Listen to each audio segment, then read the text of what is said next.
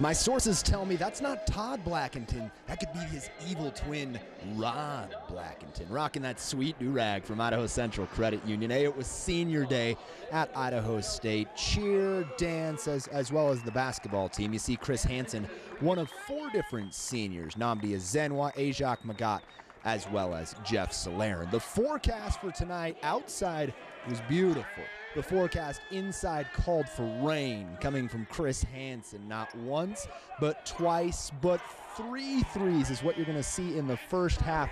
Hansen was feeling it. He finished with 23 points in the game, 5 of 10 from beyond the arc. Defense inspiring the crowd. Check out this shot. Jeff Solarin knocks the ball off of the Vandals player and out of bounds. Check out the little kid behind Bill Evans. Get another look at it. Which way should that ball be going? Well, of course, in favor of the orange and black. Love our Bengal fans. They were fantastic tonight. Another senior, Ajak Magot.